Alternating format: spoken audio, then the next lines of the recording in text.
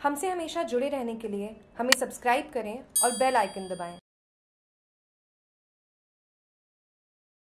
Plastic tycoon Alok Lohia ने शाही अंदाज में मनाया जन्मदिन। अरबपति प्रवासी भारतीय बिजनेसमैन आलोक लोहिया ने मंगलवार रात को उमेद भवन पैलेस में शाही अंदाज में अपना साठवां जन्मदिन मनाया। इस समारोह में स्टील किंग लक्ष्मी मित्तल सहित देश विदेश के कई बिजनेसमैन अपने परिवार सहित शामिल हुए। समारोह के बाद बुधवार सुबह मित्तल अपनी पत्नी के साथ रवाना हो गए। उमेद भवन में मंगलवार रात को थाईलैंड में बिज़नेस करने वाले प्रवासी भारतीय आलोक लोहिया ने अपना साठवां जन्मदिन मनाया। इसके लिए उमेद भवन में भव्य पार्टी का आयोजन किया गया। पार्टी में संगीत देने के लिए विशेष रूप से हॉलीवुड के कलाकारों को बुलाया गया। उल्लेखनीय है कि प्लास्टिक टाइकन के नाम से प्रसिद्ध आलोक लोहिया की कंपनी इंडोरामा दुनिया में सबसे अधिक पीईटी पॉलीमर के उत्पादक है। गत पाँच वर्ष में इंडोरामा ने वैश्विक स्तर पर 16 बड़ी कंपनियों का अधिग्रहण किया है। बैंकॉक से काम करने वाले लोहिया की कुल संपत्ति दो दशमलव आठ अरब डॉलर बताई जाती है।